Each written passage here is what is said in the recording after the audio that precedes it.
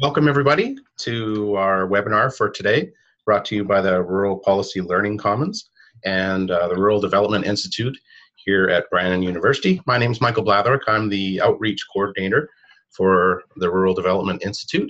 And uh, we have a excellent um, webinar today, uh, Farm Succession and Inheritance, an Irish Perspective on Policy and Support Programs. Uh, I'll introduce our speaker in a moment. Uh, just a couple housekeeping things. Uh, this is a web-based technology, so as web and internet and technology tends to do is sometimes if there's a glitch in the system, if there's an interruption in service, uh, usually the program reboots and will put you back into the, the room. Um, we are not immune to this here at uh, Brandon University. Um, sometimes if there is an outage, the program will shut down for about a minute um, it doesn't happen every time. We haven't had one so far this year, uh, knock on wood. Uh, but if uh, there is any interruption in the webinar, please stay with us uh, and we will have it loaded up uh, as quickly as possible. Other uh, points of interest for those that have registered, I will be sending out a link for the video of this presentation and also a copy of Thomas's PowerPoint so that you can refer to it in the future. So again, if you get cut off or interrupted or you have to step out in any way, uh, we will have the video of this presentation up on our YouTube site, and uh, you'll be able to view it at your leisure. So, without further ado, I'll introduce our presenter. I had the privilege to meet him last summer uh, the ICRPS conference in Ireland, and Thomas is a final year PhD student in the School of Agriculture and Food Science at University College Dublin in Ireland. He is a from a beef and sheep farm um, in the Midlands of Ireland. His research topic for his PhD and uh, decision making by farmers in relation to succession inheritance. Uh, this research has been carried out with the University College Dublin and Teagasc, that's the Irish Agriculture and Food Development Authority. Um, I will also say, while the presentation is on, um, you feel free to type in question and answers. There's a little box at the bottom of the screen, and uh, there's also a chat function.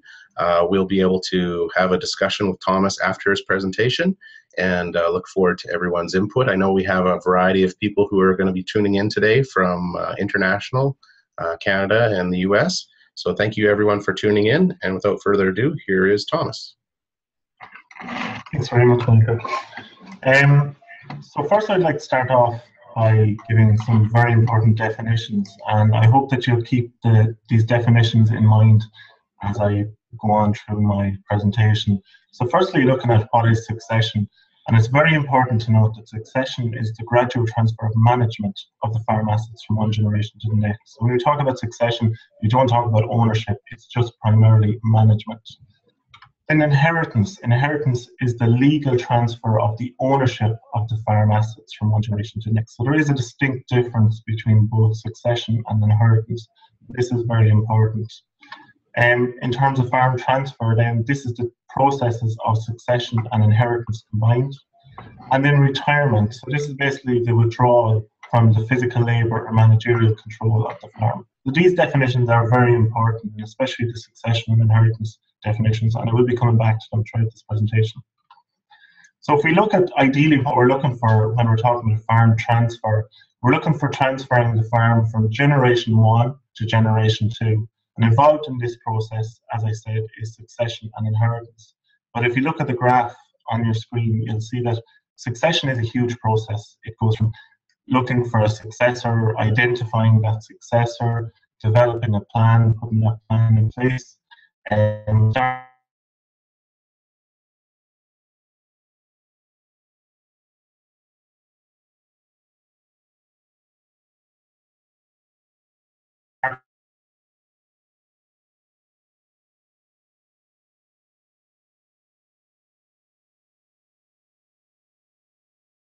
succession process and, and at the, inheritance process. So in terms of outline, I'm going to look at this presentation, um, I'm just going to give you a small bit of context in terms of the Irish situation in Ireland in agriculture, specifically on farm succession and inheritance and the structural issues involved in that. And then going to focus on farm succession. As I mentioned, it's it's a key part of the farm transfer process and the biggest part of it. So I want to focus a bit on that. And um, then I want to look at agricultural policy and agricultural taxation in Ireland. And then I'm going to talk about two uh, very innovative initiatives that have been launched in Ireland recently the Farm Succession and Transfer Guide and also the Land Mobility Service. So, to start off and just give you a bit of context uh, in terms of, of Ireland, um, Ireland is really a grass based farming system. So, 80% of Ireland is in grassland compared to 40% in Europe. So, this is really our competitive advantage here in Ireland, that grass is the cheapest feed for animals and it's it's this green image and this this healthy system that we're running here in Ireland. So it is very, very important. Also, the agri-food sector in general is very important to Ireland. Um, in 2015, it provided 8.5% of total employment um, and 10.5 billion euro worth of exports in 2014. So it's really the driving force behind getting Ireland out of the recession, which it's been in for the last while. Um, and also, Ireland, Irish produce and Irish milk and Irish beef is being marketed hugely abroad. And again, it's using this green image because we're this grass based system. So agriculture is extremely important to Ireland. Um, another big aspect of Irish farms is that 99.8% of farms in Ireland are family farms. So family farming is a huge element of Irish agriculture and is very important in terms of the structure and in terms of how we develop and how policies are implemented in Irish agriculture. Um, and another important point to note um, in terms of succession and inheritance is that land leasing in Ireland, so land mobility in Ireland is poor at the minute, land isn't transferred very often, um, and there's a number of reasons for that that I'll discuss later on. But land leasing in Ireland, which is another method for young farmers getting agriculture, um, the system that's very common in Ireland is conacres, so 11 month leases. So we don't have a huge system where there are long term leases so that young farmers or new potential operators can rent land on a long-term basis and get involved in it.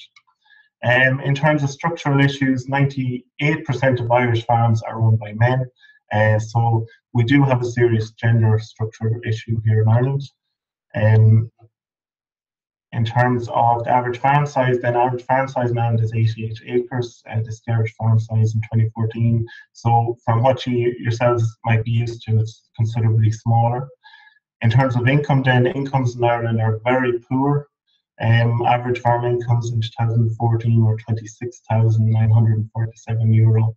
So if you combine this with you know small farm sizes, um, if you're looking at the small family farms and then uh, poor incomes in 2014, and then added to that, really, um, Ireland receives a lot of subsidies and subsidy payments from both the government and both the EU. And in 2014, subsidy payments accounted for 70% of income. So it's a huge, we rely hugely on these subsidy supports from the EU. So then moving on to uh, what is really the issue and the structural issue with farm succession inheritance. So in Ireland at the minute, there's only 6.2% of farm holders under the age of 35. So there's not a huge lot, and this is probably the biggest structural issue that we're talking about at the minute. Um, in terms of young or farmers over the age of 65, 24.9% of farm holders are over the age of 65. And in terms of Europe, 6.8% uh, of farm holders are under the age of 35, and 34.1% of farm holders are over the age of 65. So I want to emphasize an important word in, in these two stats, and that is farm holders. And I'll discuss that more in a minute. But uh, this is a it's a common problem. It's a problem that has been increasing over the last 10 years. Uh, this the age of farm holders has been in constant decline, and it doesn't seem to be improving either. And I suppose interestingly, a recent study done in 2014 had identified that 48% of Irish farmers did not have a successor identified. So this is adding to that structural problem and adding to that issue that's currently there. So just if we look at this graph, like in terms of Europe, we're not doing too bad, um, but still we're a long way away from the likes of Poland and the Czech Republic. And um, the percentage of farmers, farm holders under the age of 35 there is over 10%. Um, but again, we're not the worst in Europe. Um, if we look at, I just found the Canadian figure um, from 2011 statistics, um, and that says that 8.2% of farm operators are under the age of 35. So just to put that in context, and give yourselves an understanding of that. Um, if we look at the age over 65, then again, Ireland is doing a small bit better in terms of that. Uh, that we are just on the 25% mark in terms of the, the farmers over 65. So what I'm going to ask is, you know, is there an issue? And this is this is a question that that is, I've been looking at as part of my PhD, and, and that I'm, I'm always interested in responses for because there is this debate over farm holder and farm operator. And it was interesting when I was looking at the Canadian statistics to see the word farm operator. Um, I'm not sure what this applies to, but in Ireland, when we talk about the 6.2% of farmers under the age of 35, we're talking about farm holders. So they are people in ownership positions in farms. So if we think back to what I mentioned earlier about succession and inheritance, that would be basically people who have inherited farms or taken over farms. What I feel and um, what I know from from my research is that there is a number of young farmers under the age of 35 who are involved in management positions on farms. So they are not accounted for in those statistics. So it's probably not as bad as it does look on the statistics. But there still is an issue. There still is a structural issue in terms of succession in Ireland. And basically, where this issue is arising from is farmers in Ireland traditionally, culturally, and historically, there's a number of reasons behind this, but farmers have a high level attachment to the farm. So farmers don't like to stop farming, they don't like to sell or transfer the farm. There's this big cultural and historic issue around the family name remaining on the farm. And again, that ties into the high percentage of farms that are owned by men as opposed by as opposed to women. As well as that, traditionally in Ireland, uh, land is transferred on debt through inheritance. So that is another significant issue. Um, that farms are not being transferred through life and it's only on, on debt of the farm holder. Um, and then due to this fact that there's a really short ownership period for the farmer. So by the time the farmer does take over the farm, um, they're at a stage where they're maybe in their 40s or 50s or a bit further on, and uh, the productivity is down. And at that stage, they have families, they have financial commitments, and they're less likely to take a risk and invest in farms. So there is that traditional issue there.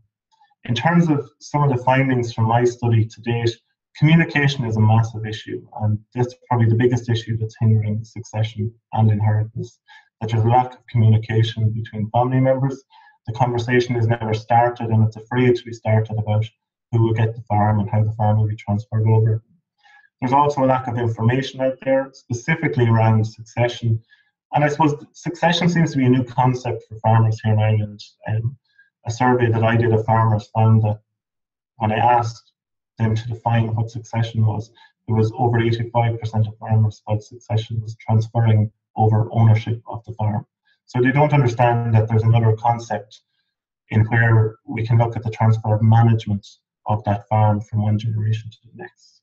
So that's really the, the underlying issue behind this whole thing. So farmers are really struggling to get all these to match up, where they have fairness and equality, where the successor takes over a viable farm that's financially viable, where there's financial and emotional security for both the farmer, uh, siblings, the successor, and maybe grandparents, and communication as well, that there's effective communication and that the issues are discussed. So there, it's it is a complex issue and to try and get all these together. And that is where the big challenge is occurring in Irish agriculture at the minute in terms of succession and inheritance. So then again, I want to bring it back to the difference between succession and inheritance because ideally what everyone wants is a desired outcome. If we look at this box here on the right, of no, a farm that's transferred without disagreements, a farm that is financially viable, that family members, siblings, grandparents are looked after, and that there's informed decision making so that everyone is happy with the process that has occurred and everyone is happy that the proper information has been got. So if we look at the two processes then, the two processes, as I said earlier, are succession and inheritance. And there's a number of activities involved with these. With succession, there's shared management and looking into developing that succession plan and transferring over that management in, you know, in a gradual way in terms of inheritance, again, it's only literally the transfer of assets, so the signing across of the deeds. But the big thing that's common in between these two processes is the communication. So, as I was doing my study on succession inheritance in Ireland, it, it's popping up everywhere. It's coming up in the literature, um, it's coming from farmers, it's coming from extension agents, it's coming from young farmers. Everywhere I turn, the big issue that's coming out is communication. So I want to talk then a bit about succession, given that I've, I've noted the importance of succession in the whole farm transfer process. So when we look at succession process, if you're looking at any organization or any business, ideally what the succession process is, it's the events and actions that lead to the transition of this leadership from one family member to another in a family firm. So any family business, usually the successor will get involved in the management of that business a long time before they get involved in the ownership. Farming in Ireland is typically different in that as I said earlier, a farmer will only will the first time that they might have any management responsibility on that farm is when the farm owner passes away and they inherit the farm. So they don't have that experience to learn and to develop. But what I'm trying to promote is that when a successor is identified, that you start the succession process and that there, there is a built-in process in this, and it really depends around number one, the level of responsibility that the successor is given, and then number two, the ability of the successor to run an independent enterprise. So I'll explain this in a second, but basically this whole transfer process, and as you can see on the right here with the picture, passing the baton can be tricky business, and it really is tricky business. So it's trying to put a process and a structure in place to support this. So if you look at this graph here, now this was um, developed by Ruth Gasson and Andrew Errington in a, a book they wrote the farm family business. And it really simply identifies the four succession processes. So any succession process will typically fall into one of these four. And if you see on the left, they're really dependent on the responsibility that the successor has for making decisions on the home farm and also the ability of the successor to run an independent enterprise to their home farm. And the different options there are partnership, um, farmer's boy, which I'll explain in a minute, separate enterprise and a standby holding. So again, I'm sure yourselves, anyone who's involved or has has knowledge on succession inheritance will be able to understand these and also um, put them in context in your own situations. So in terms of the farmer boy syndrome, this is something that has traditionally been extremely common in Ireland. Um, and it's basically where the successor has no level of responsibility and they're just working on the farm, providing a level of farm labour. Uh, the farmer is basically uh, asking that young farmer or that successor to provide labour on that farm and work for that farm and not giving them any level of responsibility. So typically, traditionally, what's happened in Ireland is that um, the farmer will be farming away and traditionally transfer the farm to the son when the son is 40 or 50 or maybe 60, and that's when the, the farmer has passed away. So the problem is the young farmer doesn't get an opportunity to develop and the farmer doesn't get an opportunity to gain some management experience and to gain knowledge in the different areas of management on the farm. Um, typically, what happens because the farmer who takes over the farm is of an older age, the farmer the farm stagnates, and then no investment is made. So this traditionally has been what's happening in Ireland, and it is a serious problem. So if we looked into the second one, which is the standby holding, uh, this is something that's actually becoming, it's increasing in popularity. It's where the successor sets up a separate farm enterprise on new land. So either they purchase land or a farm, or maybe they lease or rent a farm or land. And there's a number of farm schemes, which I'll talk about later on, which is driving this standby holding. And um, it's a good option for some farmers. The successor basically gains experience in managing their own enterprise. So they do gain a level of experience, but they have no management responsibility on their home farm, which ultimately they might be taken over in the future. So although they gain good experience and good knowledge, um, there's a lack of knowledge and information sharing about the farm. Um, so the young farmer doesn't get the opportunity to gain some of the knowledge from the older farmer, which is very important in agriculture. We then have the separate enterprise. Uh, this is where the successor takes on a separate enterprise on the home farm. Now, this is not very common in Ireland because we don't have the farm size for this. It usually occurs on large farms, um, and it would be very common in the likes of the United Kingdom where they have larger farms. For example, uh, uh, there might be a large tillage farm, and the young farmer will take on a beef enterprise on that farm. So basically, the successor gets full responsibility for the enterprise, and they get to gain good management knowledge and experience, and they get a small level of shared knowledge and experience because ultimately it's the one farm with two enterprises, and the farmer and successor uh, have the same goal, which is to develop that farm and earn an income and profit from that farm. So it is a very good option. And the final option then, and this is really the ideal succession scenario for family farms, and this is partnerships. I'm sure people will be familiar with these partnerships, but it's where a farmer and a successor will work together on the farm. They'll share decision making. There'll be a formal arrangement in place which will outline a divide of income, the divide of responsibility, and the labour which each member of that partnership are responsible for. So it's a brilliant opportunity for a young farmer to gain knowledge and experience and skills with the older farmer, with the common shared goal. And this common shared goal is ultimately to have a financially secure and viable farm and a good income for all partners involved. So it gives the farm a good chance to progress and develop, um, increase productivity and increase efficiency. And so it's really a formal arrangement and it's becoming, as I said, very common in Ireland now because it is there as the ideal succession scenario and it's being promoted as this ideal succession scenario and the best option. And there is some schemes that have, I won't say they have been focused on partnerships, but they have allowed partnerships partnerships to be an option, and I'll explain them when I talk about some of the policy. So really, partnership is based around this um, idea of the succession ladder. And the succession ladder is really where the young farmer starts to slowly get some management responsibility on that farm. So they step up the ladder. They start off with maybe technical decision making, such as day to day running of the farm. After a few years and some experience in that and gaining some knowledge, they can move on and get more long term planning, more strategic decision making in the farm. Then they can get marketing, you know, they, they make the decisions on how to sell. And then finally, the big thing for all young farmers is having the checkbook and being able to make those financial decisions.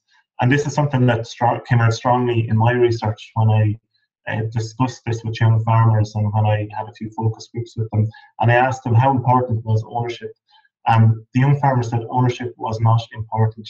They just wanted to get a step on the ladder. They wanted to get some level of responsibility on their home farm and also see that they were progressing somewhere, that they had a ladder to climb, that they had somewhere to go. And to have something that was formal with the ultimate gain for them of getting control of the checkbook or deciding, you know, where to spend money on the farm. So that was the big thing for them, and not so much ownership. They felt ownership would come at some stage. So in terms of this succession ladder, just to give you a quick outline, you know, when I talk about technical jobs like deciding how to do specific jobs on the farm, planning day-to-day work, simple things like registering as we have on management has on and stock management.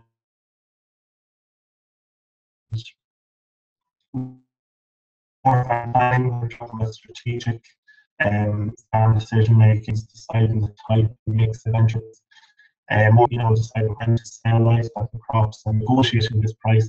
And finally, you know, the ultimate one is the farm accounts. And this is where the young farmer gets the chance to decide, you know, when to pay the bills, decide plan maybe building projects or source financing and manage the farm accounts. So this is really the ideal scenario in terms of getting a young farmer involved in agriculture. And this is what we're trying to promote here in Ireland as the ideal succession scenario in terms of the partnerships.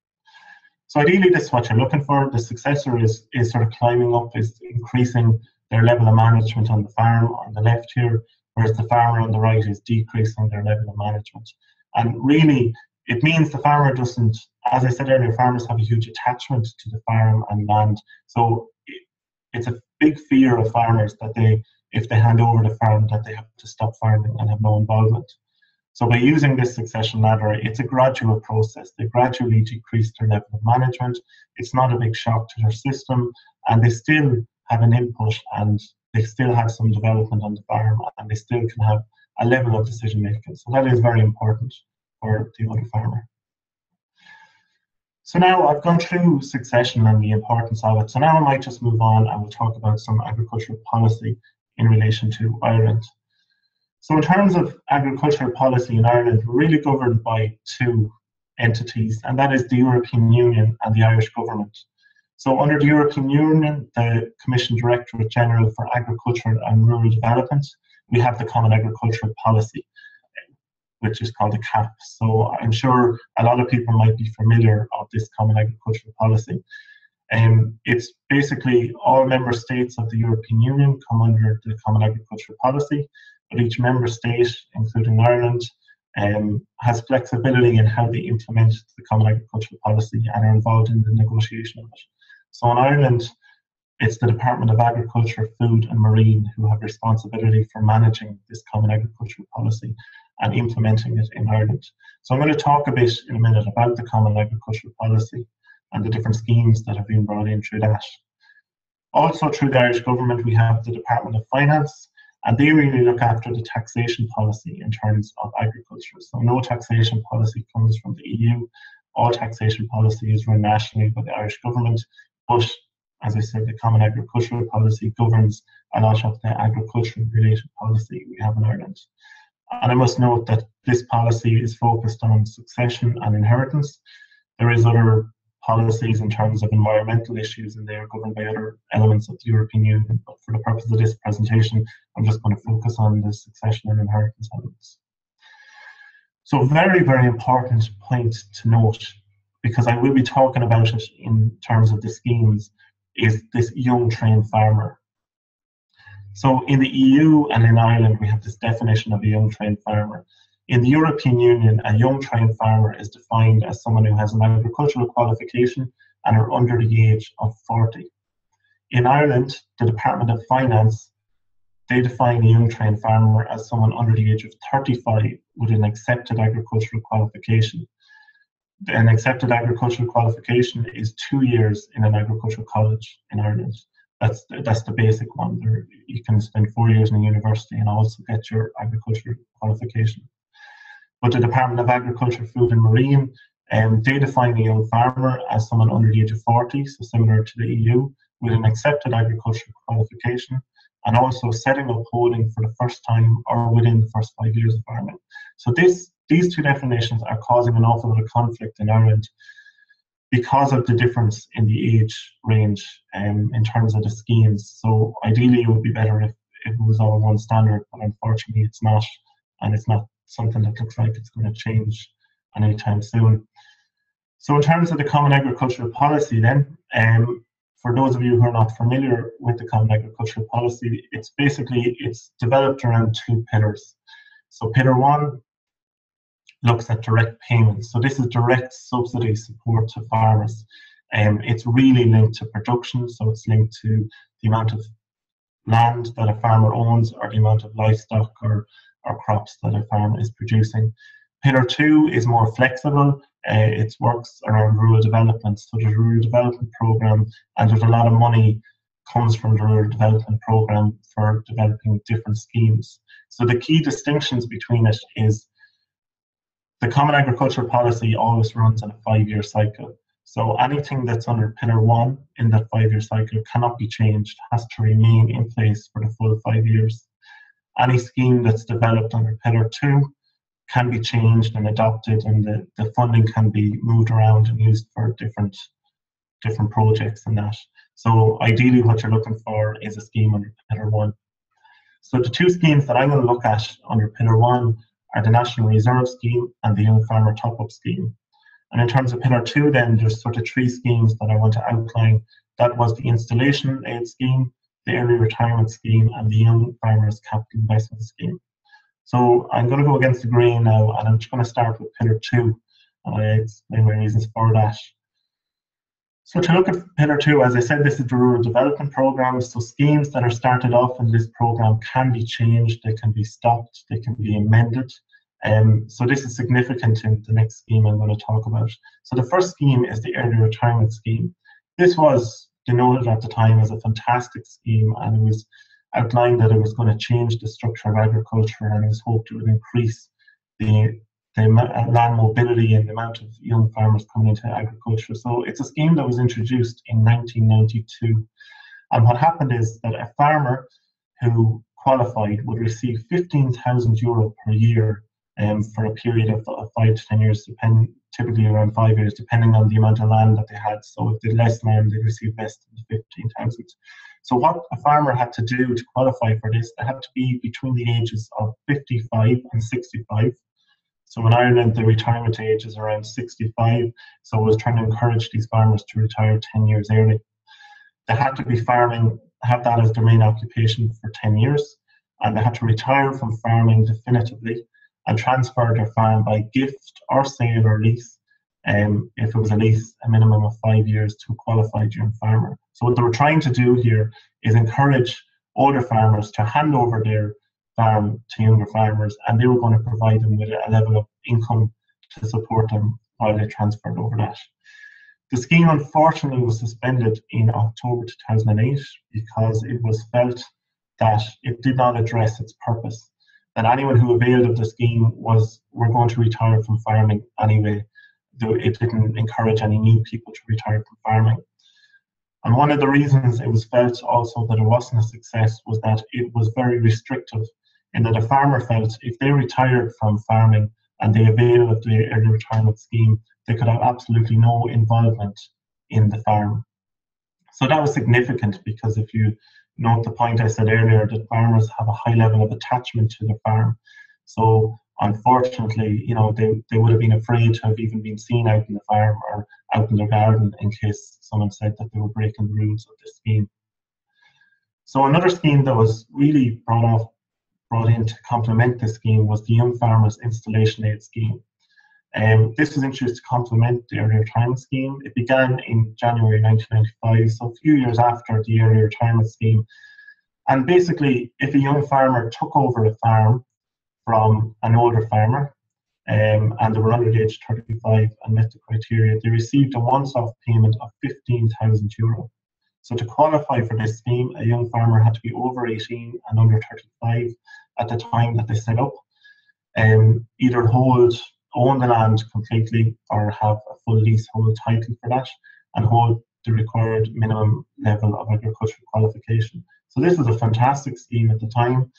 It really encouraged young farmers to take over. It did slightly increase the number of young farmers um, going to get an agricultural qualification so they could avail of this scheme.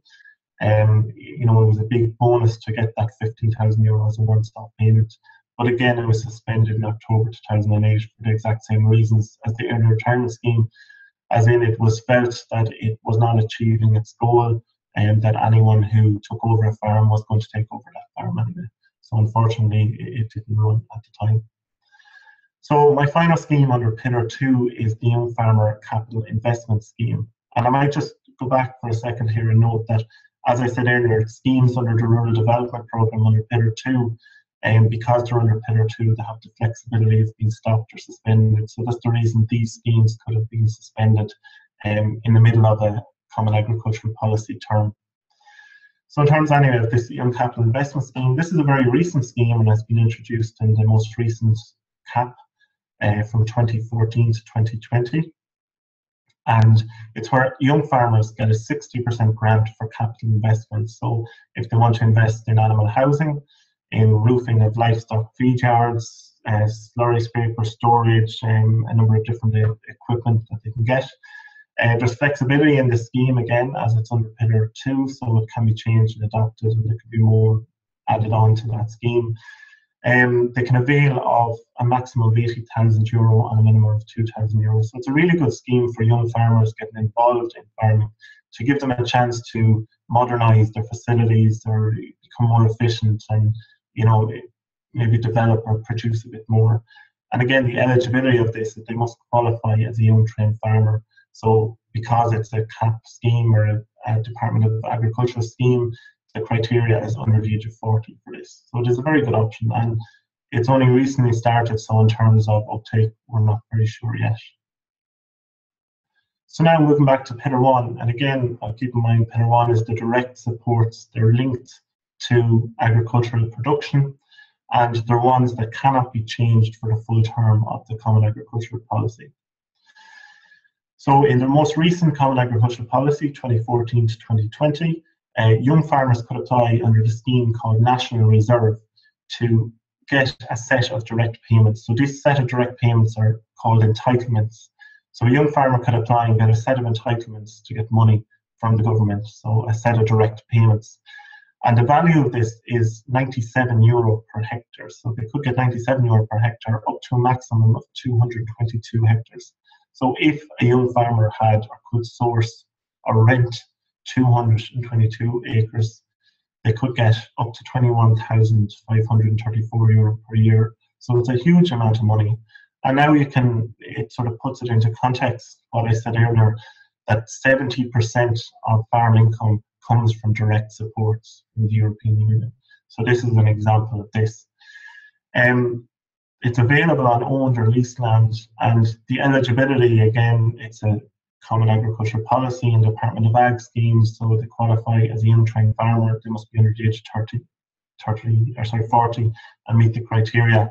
And also to have an off-farm income under 40,000 in years 2013 and 2014. So they were the criteria, and I'm sure the criteria will move maybe from 2014 to 2015 for the for this year coming. Now, the Young Farmer Top Up, this was very unique because this is the first time ever in the history of the Common Agricultural Policy that there was a scheme specifically based for young farmers under Pillar 1. So, specifically, this is a scheme, this is a guaranteed payment for the length and duration of this term of the Common Agricultural Policy. It was under Pillar 1, so it could not be changed, it could not be suspended like the installation scheme, it was guaranteed. So what this does is it provides a top-up payment on existing direct payments up on 24 euro per hectare per acre, excuse me, up to 123 acres. So potentially it's a 3,000 euro per year payment, and it was a maximum of five years you could avail of this. So again, up on 15,000 euro for five years. So it is significant, and again, it's to support young farmers in trying to pay for investment on the farms or pay for leases or to rent land. So it is significant. Uh, the eligibility for this is that they must qualify as a young trained farmer and also that they must exercise effective and long-term control.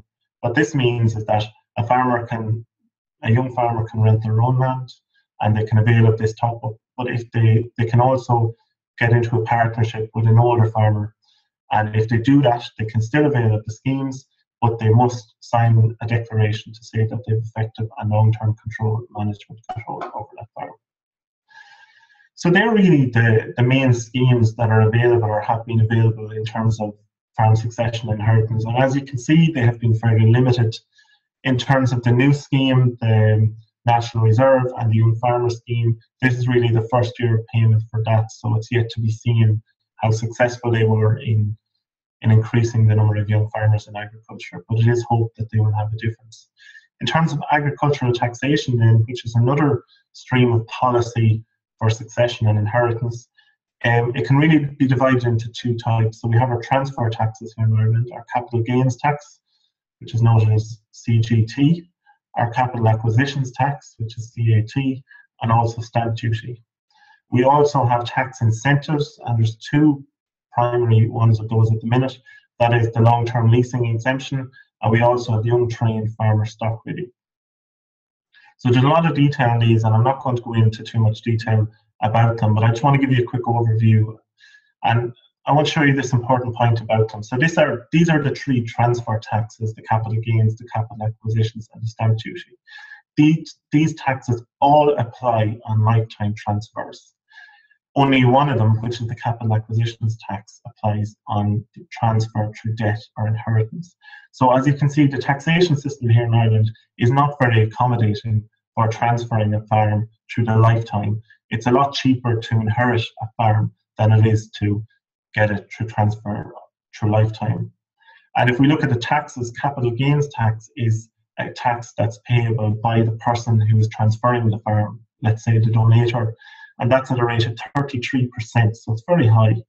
The capital acquisitions tax, then, that's a tax that the receiver pays, the person who receives the asset, and that's 33% as well. So, again, a very high value tax. Stamp duty is at a rate of 2%, so it's not as high. But again, just the importance of this slide to show that the tax system does not really encourage lifetime transfers. Now, there is some reliefs available, and they're trying to combat that and trying to make it more applicable for lifetime transfers. But their effectiveness is debatable, and uh, I can say that they have been hugely effective in, in changing the structure. As you can see, as I mentioned earlier, um, the number of young farmers has been in constant decline for the last 10 years.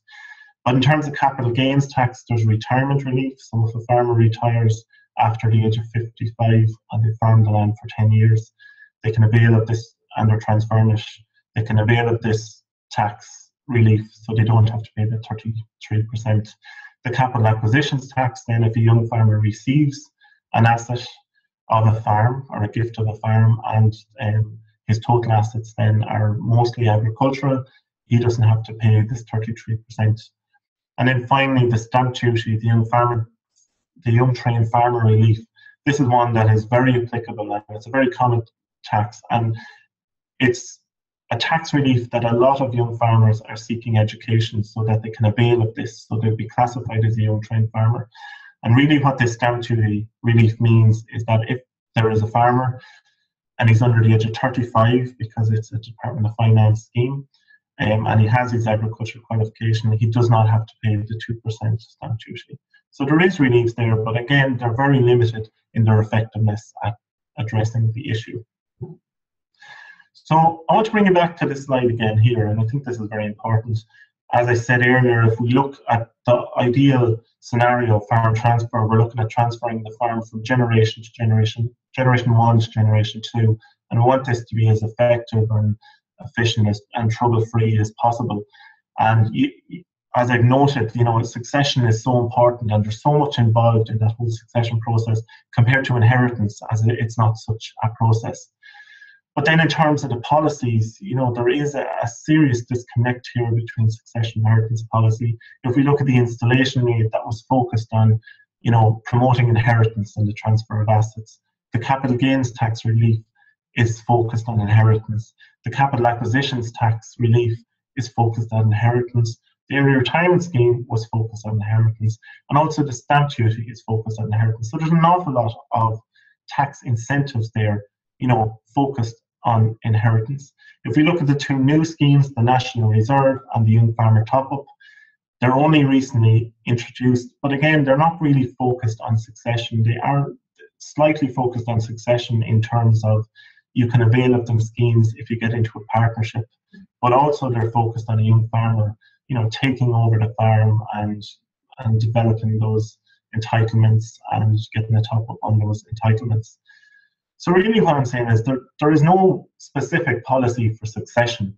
Uh, there's nothing there at the minute that might support the succession, although it's a massive process and it is the largest process in the farm transfer the farm transfer system. So, you know, and another key thing about this, as you can see, is that it's really in Ireland um, farm transfer incentives. All, it's very scheme driven, you know, and it all focuses on inheritance. So it is it is a question that's there, and again, there's debate about what policies could be put in place and, and how it might affect it. But I think again, as I said, this is a very interesting slide. But I'll come back to this now in, in a few minutes. What I want to move on to now is some Irish initiatives, and these have been introduced to help and support the transfer of the farm, but more specifically looking at succession. So the two initiatives I'm going to look at is a farm succession and transfer guide, um, and also the land mobility service. So these are two very innovative and new initiatives that have been brought over in the last few years. So if we start with the farm succession and transfer guide, this is a guide that was produced as part of my PhD um, it was developed, I'll explain in a minute how it was developed, but again, it, the hope is that it will support the succession process. So basically, what is it? You know, it's a tool, a decision-making tool, and it's there to try and support succession. There's a number of self-complete exercises throughout the guide. It looks at starting this communication process and addressing the key issues that are involved with succession and starting that conversation and having that communication.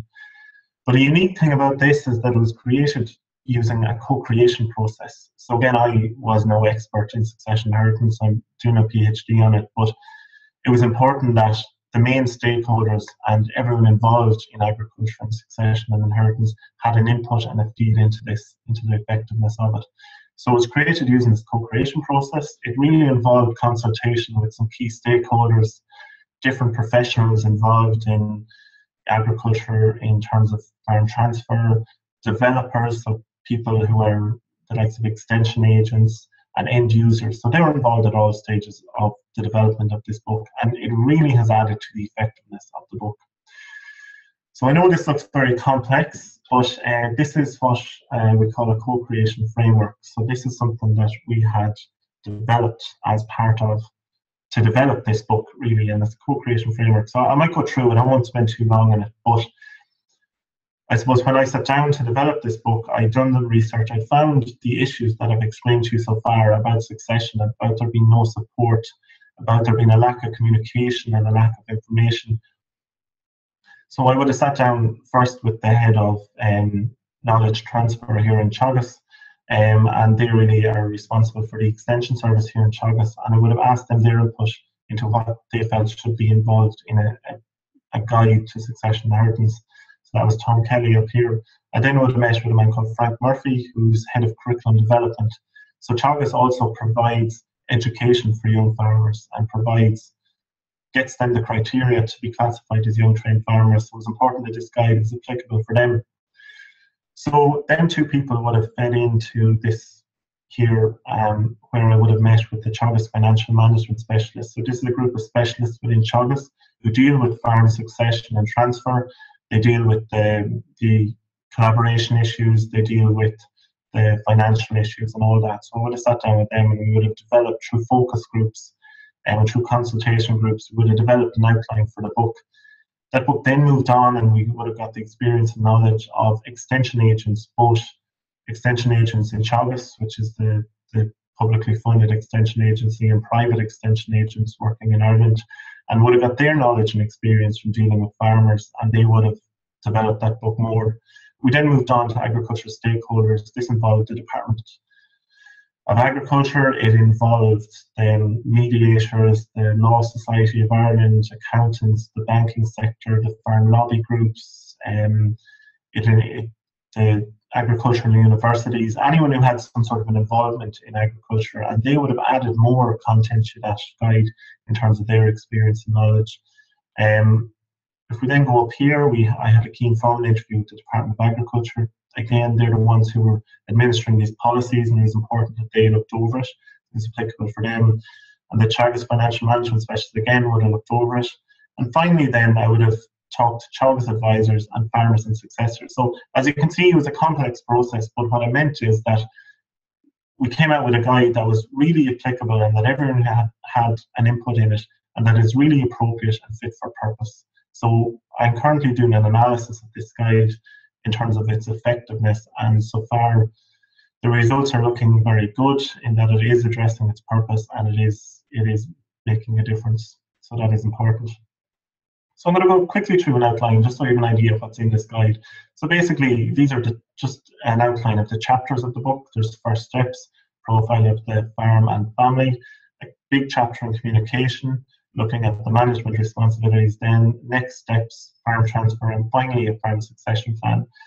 So th these are some um, screenshots from the book. So in terms of the profile of the farm, you know, it's really getting the farmer to think about their farm is their farm financially viable? Can they can they increase efficiency or productivity on that farm?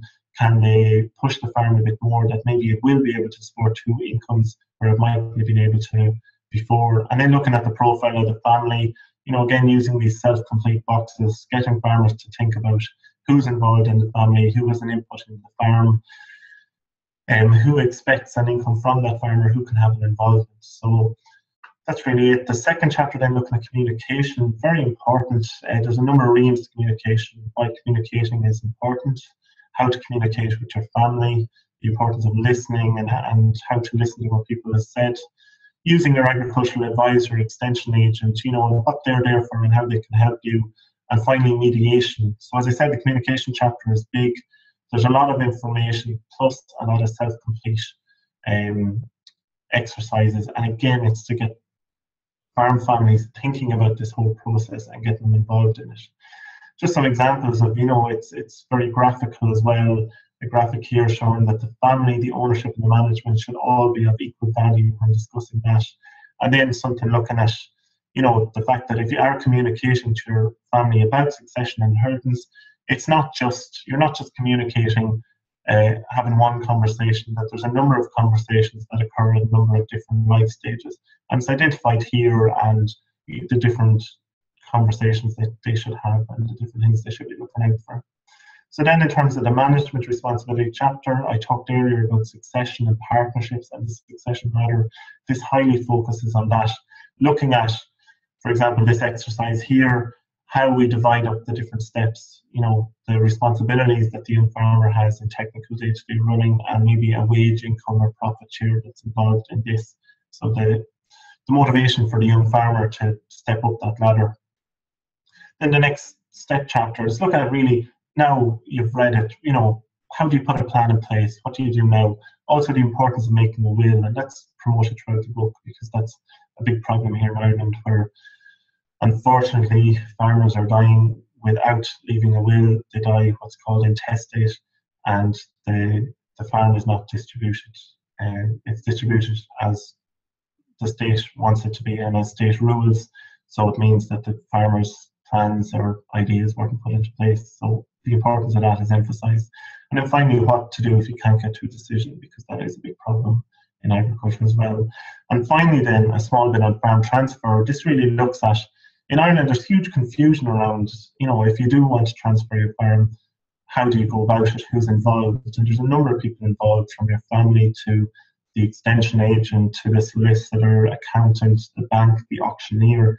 So what this chapter does is it really lays out in order of priority who you go to first, what their responsibilities are, what their role is, and what you have to ask them. So it's just a, a nice, handy two-page document that will outline where you go for information first and what the responsibilities of each professional is. So ideally to speed up this whole succession or this whole farm transfer process and make it as easy as possible. And then finally we have the succession plan. So a lot of the exercises that are completed throughout the book, they are can be copied and written at the back of the book. This farm succession plan can be detached from the book and photocopied and given to parties. So this is really a farmer's blueprint what they can look into for the whole succession process and how it's going to occur. So again, I thought it was important to have something like this in, you know, and it can be used and it's it's really their blueprint and their plan for the next 5, 10, 15 or 20 years on how that farm is going to be transferred. So that's really the farm succession and transfer guide. And um, the second initiative that I'm going to talk about here is the land mobility service. And this is a new and very innovative service, and it's very unique, I think, and I'll explain it now. Basically, um, sorry now.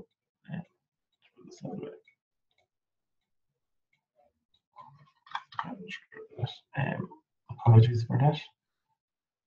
Um, so basically what it is, is a brokerage service. So it's really like a, a Lonely Hearts column um, or service for young farmers and older farmers so that they can come together. So it's young farmers who are looking for looking to get involved in collaborative farming arrangements, and then an older farmer who's looking for someone to, a young farmer to get involved with them in farming. So it's a brokerage service. So there's one person currently employed at the minute, and their job is to um, source the older farmers and the young farmers and act as a mediator in between them and, and to develop these collaborative arrangements.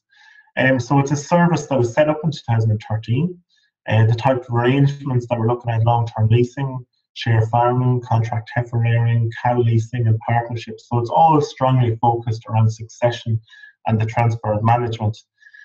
Um, and the, the slide that unfortunately I won't be able to get up now, it just it shows the people that are involved. So sort of a cross industry initiative that was, set up. It was set up by an organisation called Macra na Feirme, and they are the Irish Young Farmers Organisation. So they really initiated this scheme and then it was funded by the FBD Trust, which is an agricultural trust here in Ireland. Um, and basically, all the major agricultural industry stakeholders have come involved in this. The co ops here in Ireland, the National Agriculture newspaper, the accountants, the Department of Agriculture, and Teagasc as well. So it's a huge, there's huge industry support around this, and it seems to be very effective. In terms of what it's done so far, it's only been two years in operation to date um, in only three pilot areas across Ireland. So they, they picked three sections of Ireland to run it. They have currently 360 clients have passed through their books in the last two years.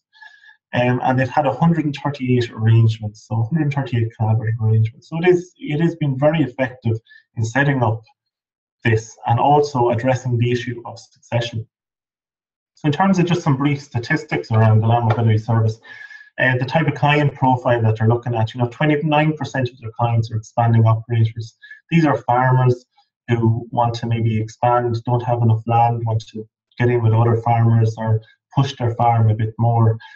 26% are new and potential operators. So these are the young farmers or the people who don't have a farm, or maybe siblings of people who do have a farm that want to get involved in farming and want to get involved in the management and operation of the farms.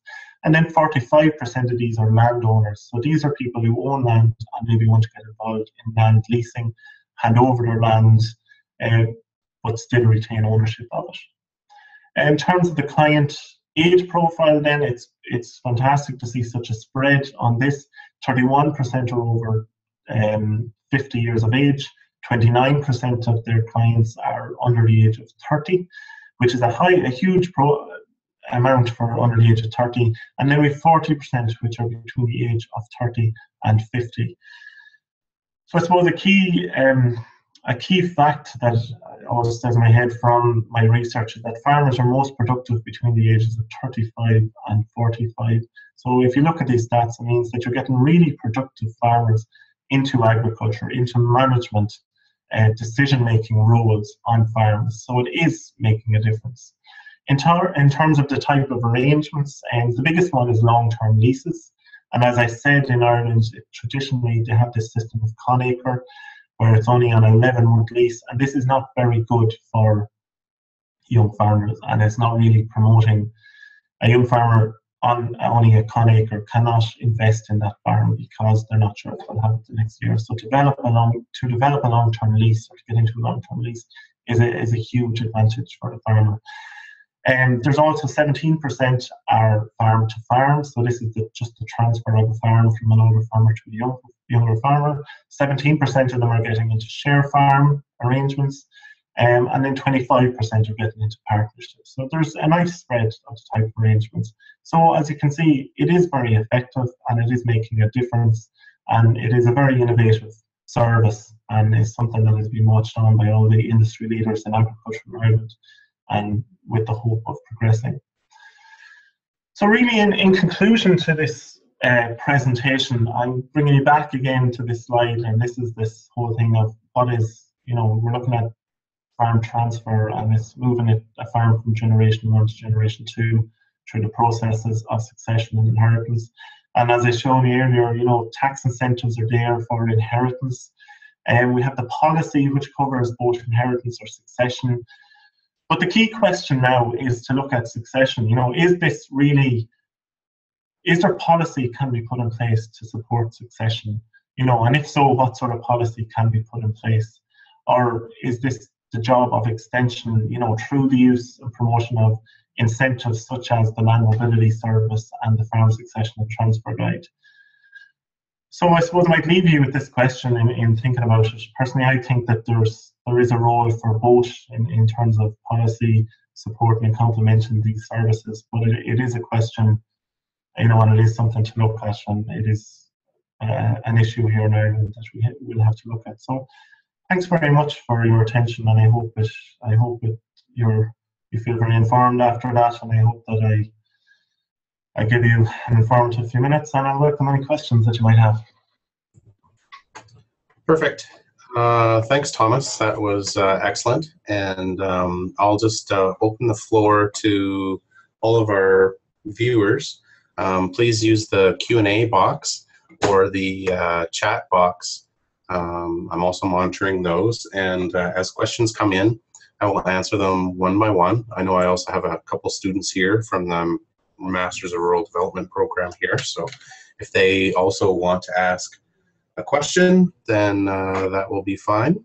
Um, so until we get some questions, I just wanted to ask a little bit about um, kind of the future of the EU as as you um, are familiar with the programs that you have um, there in Ireland and and what type of um, things do you think you see going forward or, or changes in the EU? Um, I think uh, is it Great Britain is currently looking at voting on whether to stay in the EU or not or to go separate. So I, I know you're you're closer to that neck of the woods than I am, and if you have any comments on the uh, future landscape of the EU.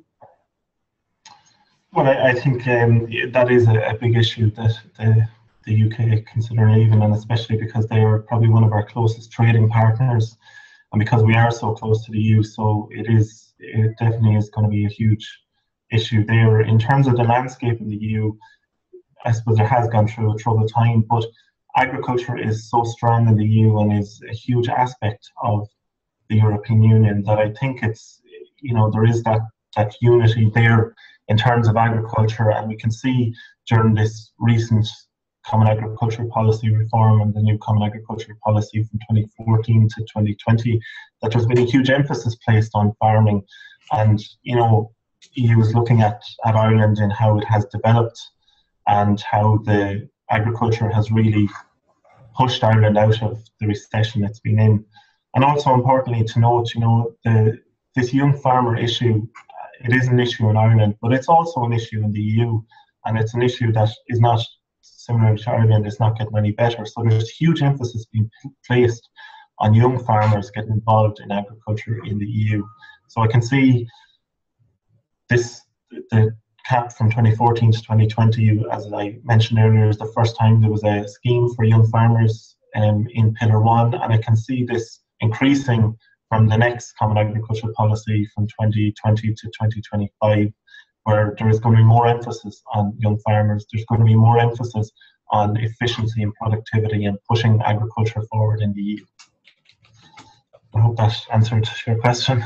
Yeah, no, that's good. And um, you know, I know it's a it's a fluid situation, and who knows where it will go. But uh, that was one thing that was on my mind, and I was trying to think of what what I could easily ask while we wait for our first question. And so I have um, Heather Mitchell uh, sent one in. She's from the Columbia Basin Trust in British Columbia. So her question is: Are there many farmers in Ireland who rely on selling their land for their retirement? And if so, what kind of issues arise from this? In British Columbia, land values are quite high, and new farmers can't buy into new farms as the cost is prohibitive, and existing farmers need to get certain value to support their retirement. So, uh, you know, it's a kind of a uh, maybe it's a catch 22. I don't know if, um, you know, the, the cost of buying it is so high and it's hard for people to get in, but then you also have these farmers who are relying on that income to retire. So, um, are there are there many farmers in, in Ireland that are in the same situation where they rely on that selling of the land for retirement? No. Um, as I said, Ireland, like there's a huge attachment to land in Ireland, and it's probably one of the biggest issues. Um, the word that's thrown around Ireland at the minute is land mobility. We have a land mobility issue in that land prices are very expensive, but farmers do not like to sell their land. Farmers usually hold on to the land until they until death and transfer it through inheritance. So that is not a, a big issue, and I, I've rarely come across a farmer who is selling their land for a retirement income. They will just remain farming on that farm until they, they pass away. And again, there's some structural issues in terms of a farmer can receive um, they can receive a pension from the government while also receiving the government schemes that I've mentioned, such as their the, the subsidies and the direct payments.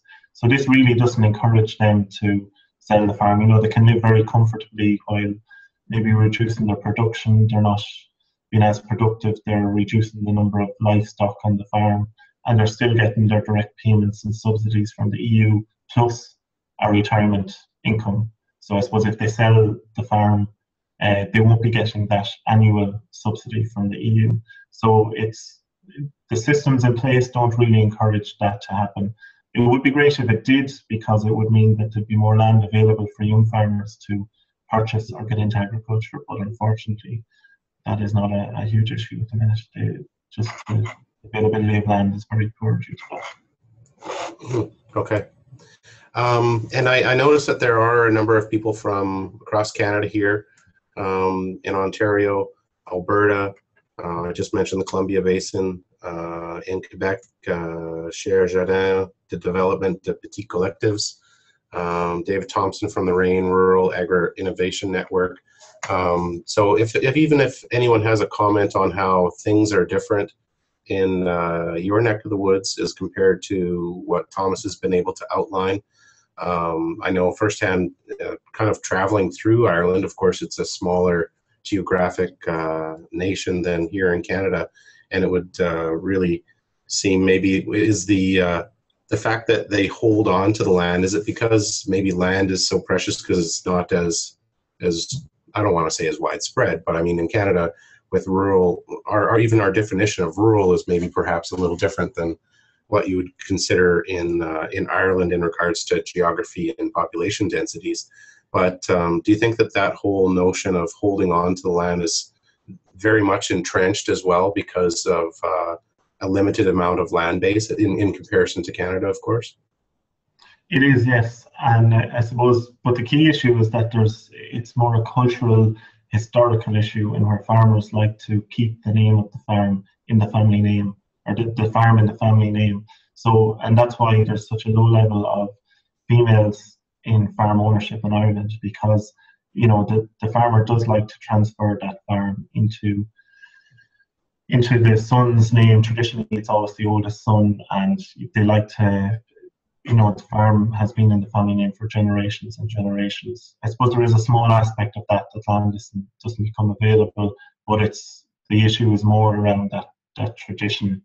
And also, there's a huge fear by farmers, and it came up in some of the research I done that farmers uh, are terrified of transferring the farm to their son in case you know the son gets married and there's a divorce and the laws in Ireland mean that the the wife can get half of that farm. So again, it's taken out of that family name. So that is a, a huge concern here in Ireland.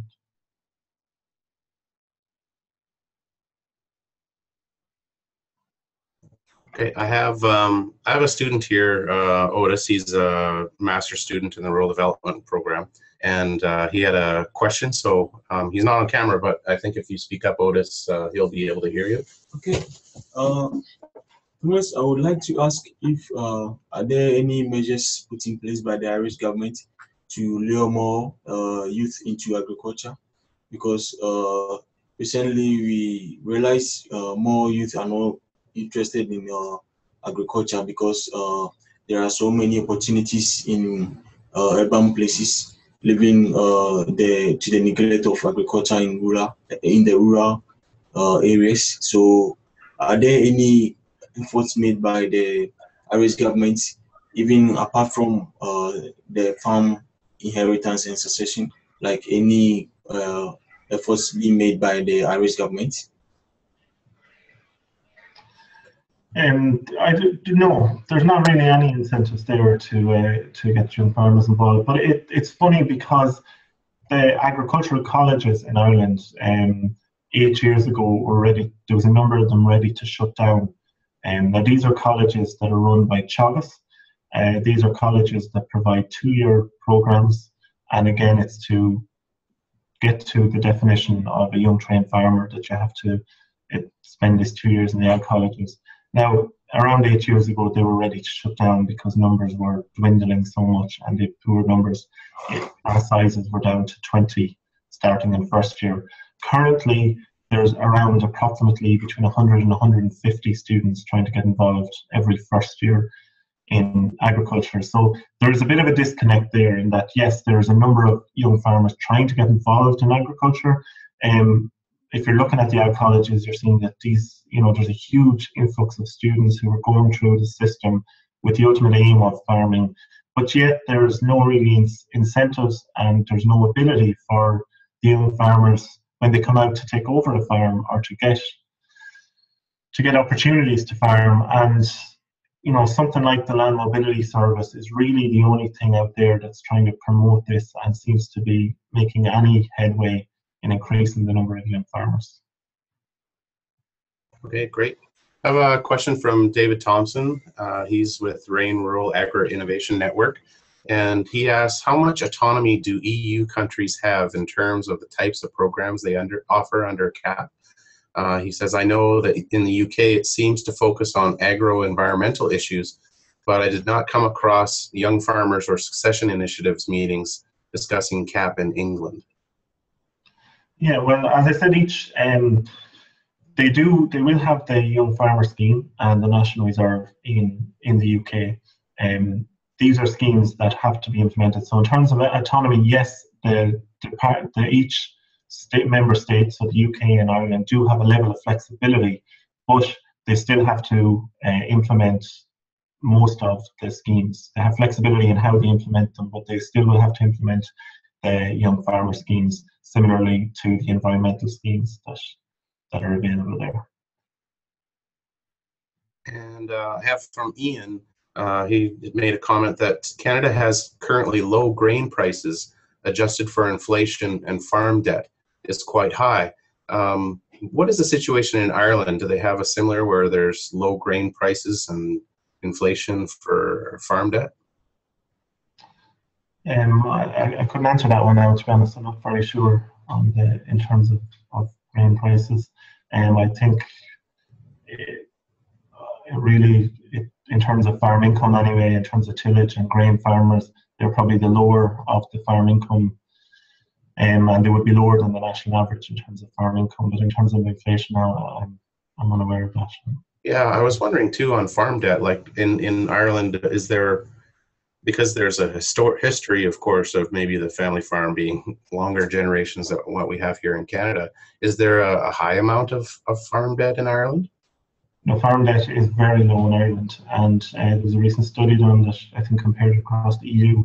I can't remember the exact figure now, but it was very low. I think it was one of the lowest in Europe um, in terms of farm debt. And again, that's like there's other EU countries, and um, the young farmer has to buy into the farm or invest in the farm. But in Ireland, it's usually transferred across to the traditionally to the oldest son. So what this means is that there's very, very low levels of debt on Irish agriculture. Yeah, and I wonder if that's also maybe a nature of the the, the dominant um, agricultural type in, in Ireland, and I mean most most the most um, profitable type of agriculture, I guess, is is cattle in, in Ireland. If, if I'm not correct, if I'm not mistaken, is that correct? And um, it's dairy farming at the minute. Yeah, dairy farm, dairy farming. Right. Yeah, that's right. Yeah. And recently we've had um, we've had a quota system in Ireland where farmers could only produce they'd have to apply for quota. So there was a limit on the amount of milk that could be produced in Ireland. So um, last year the quota was removed, which means that farmers, dairy farmers now can produce as much milk as they want. So it's interesting times in terms of the dairy industry here in Ireland. And there's a huge lot of investment in dairying. And in terms of a lot of the succession options that I talked about, long term leasing and partnerships, they're becoming more common in dairying because, again, dairying is more profitable than beef farming. Typically, with beef farming and sheep farming and even tillage farming, um, you will have a lot of farmers who have part time jobs along with um, running their farm. And again, it's because of that very low um, farm income. Like that farm income is below the national industry industrial wage in Ireland at the minute. Mm-hmm. And um, kind of following on that theme as well, um, for those dairy farmers, and I recall that the quota system is just recently been um, taken off. Um, is in Canada we have for the in wheat board anyways we have had a cooperative system and now it's more of an open market system. Um, in Ireland before when they had the quotas, did they have to go through uh, a, a, board to to exchange, or was it just full open market and you just had to keep within your quotas? And and now is it uh, how how does the market work? Yeah, it's still a cooperative uh, system here in Ireland. There's a number of main uh, co-ops. So again, you have to apply to uh, supply a certain cooperative here in Ireland. Um, that was the way it was before. It still is the way now. The only difference is there's no restriction on the amount of milk that you can produce for that cooperative. And in terms of marketing, all the cooperatives are managed by um, an organisation called Ornua, which is the Irish Dairy Board. So they're responsible for marketing all Irish dairy produce out abroad. But again, yes, all farmers have to run through the cooperative system. Cool. Um, well, uh, I, I see that we don't have any other questions on the board. Uh, I'll ask my couple students here. You guys are pretty satisfied? Good, good. Uh, I appreciate if there's no other any other questions. I'll uh, just mention to the group again that uh, copies of Thomas's presentation will be made available to those who have registered and sent me an email address. I noticed a couple people, maybe they're colleagues of yours, Thomas, uh, Bernard Dourley, uh, Connor Holohan, and Shonda. Um, if you want to send me your email address, I will send you the link for the presentation and also a link for the our YouTube site where we put all of our webinars up for all to see. Um, this uh, webinar was brought to you by the Rural Development Institute here at Brandon University, and uh, we are part of the Rural Policy Learning Commons, a broader network of universities across Europe and Canada to bring you topics on rural issues. So once again, I'd like to thank uh, you, Thomas, for your time and your interesting presentation. Um, it made me reminisce of Ireland and how beautiful your country is, and uh, I think it's very interesting some of the things that you highlighted, um, especially because I know with an older generation uh, in farming and agriculture that uh, this is a very important and relevant issue for, for everybody. And uh, I think you've uh, brought some interesting points of interest, and I hope that this is helpful towards other people in, in what they do in their work. So thanks again for your time, and uh, we'll conclude this session. And uh, stay tuned for our next one. Our next webinar is on the 23rd, and we'll take care then. Thank you. Thanks very much.